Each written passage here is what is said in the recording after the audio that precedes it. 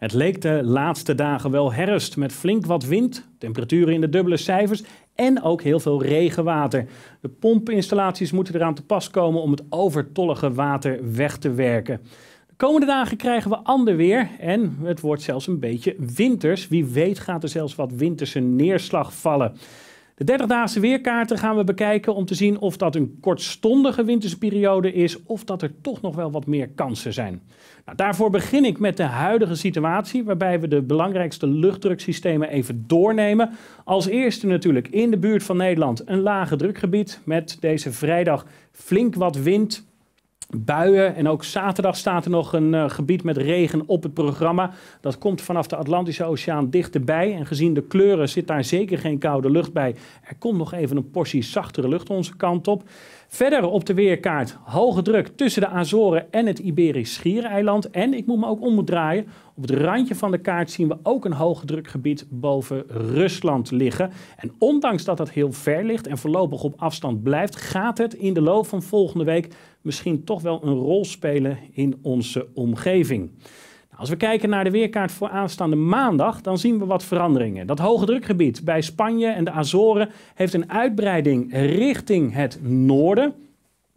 De lage drukgebieden liggen nog steeds in onze omgeving, maar zijn op dat moment gevuld met koude lucht die makkelijk aan de achterzijde van dat lage drukgebied tussen dat laag en dat hoge drukgebied door, als het ware vanaf de poolstreken naar beneden kan zakken. En dat betekent dat we volgende week geleidelijk aan lagere temperaturen zien, nachtelijke vorst krijgen. En als er buien zijn, dan misschien ook wel een paar winterse buien met hagel en natte sneeuw. En misschien wordt het wel ergens een keertje wit.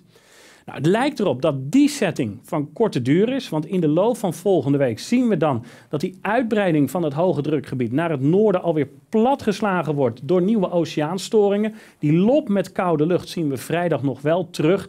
Ja, en verder is er nog niet zo heel veel veranderd. Dat hoge drukgebied boven Rusland ligt nog altijd op ruime afstand. Maar volgend weekend, volgende week zondag, dan zien we dat het hoge drukgebied geleidelijk aan wat meer zijn uitbreiding gaat laten zien naar het westen. je ziet eigenlijk een soort van uh, zone van hoge druk in onze omgeving, verbonden met het hoge drukgebied ten westen van Frankrijk. Lage drukgebieden ruim ten noorden en ook boven de Middellandse Zee.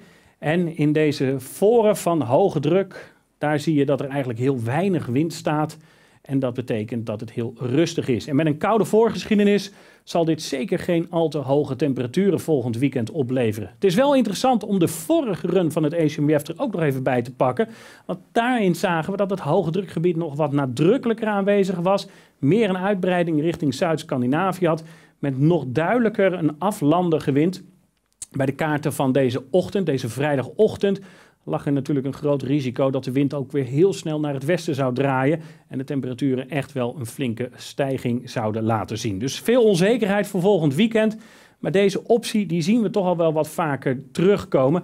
Ja, tegelijkertijd, meestal komt het weer vanuit het westen. Daar zien we lage drukgebieden. Dus het is allemaal voor winterliefhebbers erg fragiel. Nou, als we kijken naar de luchtdrukafwijkingen voor volgende week, dan zien we in ieder geval heel duidelijk die hoge drukzone ten westen. Met daardoor de afstroom van koude lucht richting onze omgeving. Onder leiding van die lage drukgebieden. Het komt vrij zuidelijk. Er gaat ook sneeuw weer vallen in het Alpengebied. En op het randje van de kaart dan natuurlijk ook het hoge drukgebied boven Noordwest-Rusland. in de pluim zien we heel duidelijk dat na een zaterdag waarbij de temperatuur nog even in de dubbele cijfers komt, de temperaturen omlaag gaan, nachtelijke vorst. En dan in de loop van volgende week neemt de onzekerheid toe. Maar er zitten echt nog wel wat koude opties tussen. Het is echt de vraag, hoe komt dat hoge drukgebied nou precies te liggen? Die afwijking in de min wat temperatuur betreft zien we nu ook terug in de weerkaart voor volgende week. Duidelijk warmer in de buurt van dat hoge drukgebied, want aan de voorzijde waait juist een zuidenwind over Oekraïne richting Rusland en ook in Finland worden temperatuurafwijkingen voorzien van enkele graden boven normaal. Ja, en wat neerslag betreft kunnen we kort zijn. Er komt een einde aan het hele natte weer. Vanaf maandag zien we duidelijk dat de neerslagkansen afnemen. Koude lucht kan nou eenmaal ook minder vocht bevatten. En de warme opties op langere termijn, ja, die laten vooral wat neerslag toe. Als we dan kijken naar de weken erna, bijvoorbeeld de week rond de, jaar, of eh, de maandwisseling moet ik zeggen, dan zien we dat nog altijd hoge drukgebieden aanwezig zijn boven Noord- of Oost-Europa. De positie ervan is een beetje lastig in te schatten, is echt heel uh, verschillend van oplossing. Tegelijkertijd wat meer laagdruk ten uh, westen van de Britse eilanden. Daar valt duidelijk meer neerslag. Bij ons, onder invloed van die hoogdrukgebieden, is het droger. En ja, met niet al te veel wind vanaf zee, of misschien zelfs wel vanaf het continent, kun je natuurlijk niet verwachten dat het heel zacht wordt. Maar heel koud, dat lijkt het dan ook weer niet te worden. Nou, heel interessant. De weerregimes laten zien dat er een einde komt aan het wisselvallige weer met een weststroming.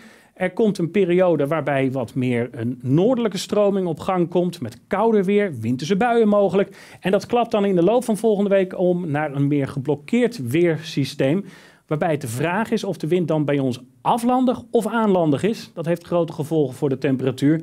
En op de wat langere termijn, ja, dan zien we dat eigenlijk een geblokkeerd weersysteem, maar ook weer het wisselvallige weer zoals we dat de laatste tijd hebben gezien, voorzichtig weer lijkt terug te keren. Ja, en ik zeg voorzichtig, want afgelopen week hebben we ook een video opgenomen met wat meer uitleg over de poolwervel en eventuele opwarming van de poolwervel of het verschuiven ervan. Nou, ik zou zeggen, kijk ook even naar die uitlegvideo. Wat we de komende tijd zien is dat de poolwervel heel sterk is. Maar eind van de maand gaat hij in sterkte afnemen. We zien een duidelijke afname van de windsnelheid richting nul gaan. Als dat het geval is, dan neemt het risico op geblokkeerd weer toch weer toe. Nou, als dat het geval is, dan zien we dat natuurlijk de komende tijd veel vaker terugkomen in de weerkaarten voor de 30-daagse periode. Wat mij betreft, tot de volgende keer.